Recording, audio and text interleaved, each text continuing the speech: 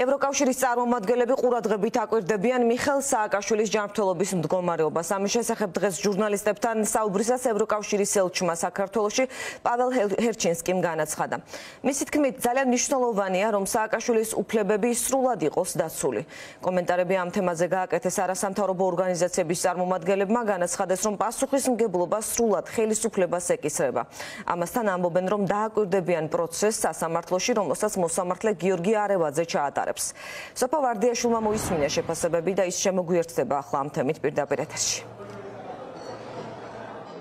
გეხსენა პაველ ჰერჩინსკის მსგავსი განცხადება ცოტა ხნის წინ გააკეთა შეერთებული შტატების ელჩმაც. დიპლომატები ამბობენ, რომ ძალიან ყურადღებით აკვირდებიან ახლა სააკაშვილის სააკაშვილის ირგვლივ განვითარებულ პროცესებს და ვიცით, რომ ისინი ასევე ეცნობიან ახლა სამედიცინო დასკვნას, რომელიც ცოტა ხნის წინ გაასაჯაროვა ცენტრმა ემპათია. ელჩები ლაპარაკობენ იმაზე, რომ აუცილებელია მიხელ სააკაშვილმა მიიღოს სათანადო მკურნალობა და აუცილებელია, რომ მისი უფლებები იყოს სათანადოდ დაცული. განვაგრძობთ ვითარების მონიტორინგს ძალიან ყურადღებით. დეტალურად გავდივართ ახლახანს გამოქვეყნებულ ანგარიშს. დოკუმენტების ნაწილი ჯერ კიდევ ქართულ ენაზეა და არ არის ინგლისურად ნათარგმნი. თავარი არის ის, რომ თავრობამ გადადგა საჭირო ნაბიჯები ახალი ინფორმაციის საფუძველზე. ყველა ველოდებით სანდო ობიექტურ სამედიცინო დასკვნას ბატონი სააკაშვილის ჯანმრთელობის მდგომარეობის შესახებ. შეერთებული შტატები გამუდმებით ამბობს, რომ ფუნდამენტურად მნიშვნელოვანია სააკაშვილმა მიიღოს საჭირო სამედიცინო მომსახურება და მისი უფლებები იყოს დაცული. Course, uh, რა თქმა უნდა, როგორც ევროკავშირი, ჩვენ ძალიან ყურადღებით ვაკვირდებით ყოფილი პრეზიდენტის სააკაშვილის ჯანმრთელობის მდგომარეობას. გვაქვს კავშირი მის ოჯახთან და ასევე ვაყენებთ მისი უფლებების საკითხს საქართველოს ხელისუფლების შესაბამის ორგანოებთან. ძალიან მნიშვნელოვანია, რომ მისი უფლებები სრულად იყოს დაცული. რა თქმა უნდა, აქ საქართველოს სასამართლომ უნდა გადაწყვიტოს მისი მომავალი. რაც შეეხება არასამთავრობო ორგანიზაციების წარმომადგენლებს ისინი ამბობენ რომ თლიანად ხელისუფლებას ეკისრება პასუხისმგებლობა თუ მიხელ სააკაშვილის ჯანმრთელობის მდგომარეობა კიდევ უფრო გაუარესდება და დადგება რამე გამოუსწორებელი შედეგი. ისინი ასევე ჯერ თავს იკავებენ ამ მკვეთრი შეფასებებისგან. მოსამართლე არევაძესთან დაკავშირებით რომელსაც დაეწერა მიხელ სააკაშვილის გათავისუფლების შუამდგომლობა ამბობენ რომ დააკვირდებიან არევაძის საქმედებებს ამ საქმეში. მოსამართლე არე არევაძემ ერთხელ უკვე მიუსაჯა.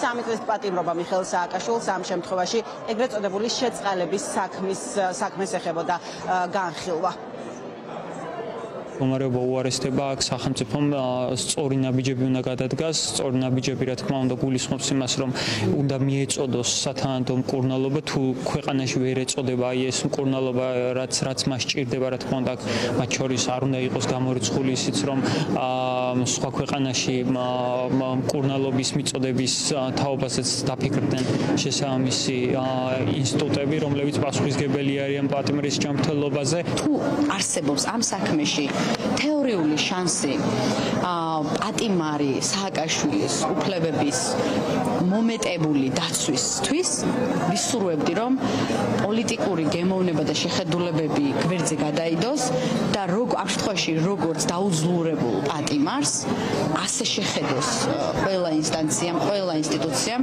და მიიღოს ჰუმანური გაწყვეტილება. ეს განცხადებები გაკეთდა შეხვედრაზე, სადაც სახალხო დამცველმა, ჯერ კიდევ მოქმედმა სახალხო დამცველმა, რომელსაც სავარაუდოდ რამდენიმე დღეში უკვე გასდის უფლებამოსილების ვადა, წარადგინა თავისი ანგარიში, საქმიანობის ანგარიში, ნინო ლომჯარი ამბობს, რომ სახალხო დამცველის აპარატის ყურადღებით აკვირდება და სწავლობს მიხელ სააკაშვილის ჯანმრთელობის შესახებ წარდგენილ სამედიცინო დასკვნას, ამის შესახებ სახალხო დამცველთან არსებული კონსილიუმიც მსჯელობს და სწორედ ამ კონსილიუმის გადაწყვეტილების შემდეგ გადადგამს უკვე კონკრეტულ ნაბიჯებს სახალხო დამცველის აპარატი როგორ ჩაერევა მიხელ სააკაშვილის ჯანმრთელობის საქმეში